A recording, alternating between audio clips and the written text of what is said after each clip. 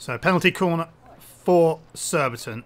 And it comes from Becky Herbert and it's Woolven at the top of the circle and Jenna Woolven who gave Surbiton the lead against Buckingham last week on the fifth minute does the same this week against Canterbury this time from a penalty corner fired in and it comes off Clewlow on the post Surbiton 1 Canterbury nil so a chance for Canterbury to get back on level terms. It's Clewlow! And Mel Clewlow makes it 1 all. A fine strike from the top of the circle. Down the foot side of Abby Walker. Great goal. So Surbiton there's a channel down this right-hand side, and Joe Hunter in round the back of the Canterbury defenders. Hunter driving to the baseline. Hunter pulls it back, and Calnan restores Surbiton's lead. Surbiton 2, Canterbury 1. Charlotte Calnan converting after Joe Hunter's drive along the goal line. A well-taken goal from Surbiton.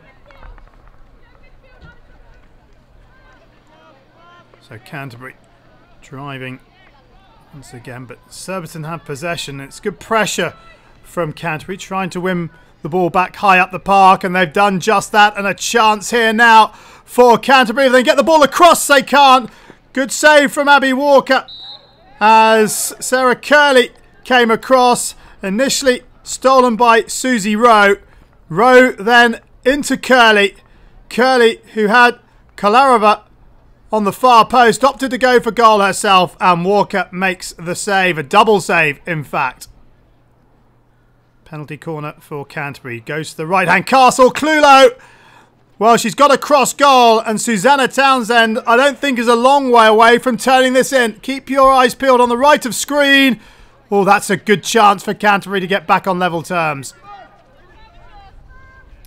Clewlow no, she lost possession. She has lost the ball. And a chance here for Canterbury. They're in again on Surbiton. Are 3-1 in front. Becky Herbert on the score sheet. All came about from a poor pass out of defence from Clewlow. But once it got into the circle, Herbert with a very smart finish. Canterbury Change at the top of the circle. Ballsden fires it in. It was along the ground, and I think it's been deflected up and over Abby Walker by Holly Munro. Let's have a look from behind the goal. Fired along the turf, and indeed it is up off Munro's stick. I think Walker has that covered. So Surbiton with the penalty corner. There's a switch to move, and it's up and over the bar. That's not far away from a fourth for the home side. It's well worked but not quite on target. Canterbury survive. Another chance here for Surbiton. This is Hunter. Hunter trying to get round Barnes. Barnes does well, but it's dropped out to Herbert. Herbert along the baseline. And it's still there for Surbiton. And it's turned in by Sarah Haycroft. And with three minutes remaining, Surbiton surely have the victory now. Surbiton 4, Canterbury 2. The drive from Herbert. Then the little ball through up off the stick of Clewlow. But then the ball back to Haycroft who finishes. Penalty corner for Canterbury. Is there to be any late drama? Ballsden scores.